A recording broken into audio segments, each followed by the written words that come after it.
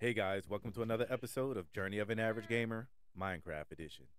Today we're going to be getting the Disenchanting achievement, and in order for us to do this, we're going to create a grindstone, and we're going to disenchant one of the enchantments on an item and gain the XP for disenchanting that item.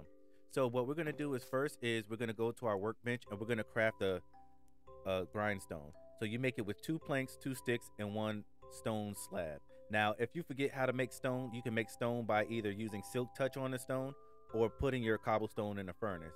So I'm gonna go ahead and make one grindstone and I'm gonna show you exactly what you need to do in order to disenchant something. So I'm gonna go ahead and put the grindstone down and as you can see, I actually have an enchanted shovel on me. Now I got this shovel from a drop from a zombie, so you can use anything that has an enchantment on it and when we disenchant it, we're going to get the XP from it. So I'm going to go ahead and I'm going to put the iron shovel in here. And as you can see, when I disenchant it, it's going to turn back into a regular iron shovel.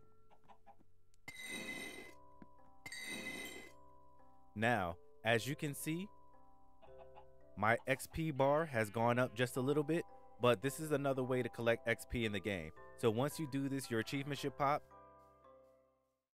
Hey guys, thank you for watching. Remember to like, comment, and subscribe. And if you're interested in getting free crypto and free stocks when you sign up, use my referral links down in the description. Until then, I'll see you in the next journey.